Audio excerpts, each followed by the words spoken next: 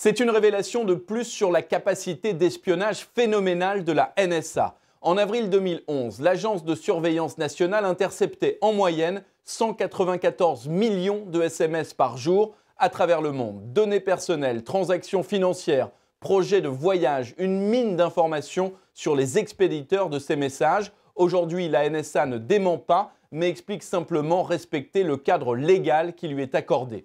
Et c'est justement toute la question, la NSA doit-elle conserver autant de pouvoir 59% des Américains pensent que non. Barack Obama doit annoncer aujourd'hui un projet de réforme des méthodes de surveillance américaines, mais le président ne peut pas décider seul et il devra demander l'autorisation du Congrès, un Congrès tellement divisé qu'il faudra peut-être des mois ou des années avant d'espérer de véritables changements.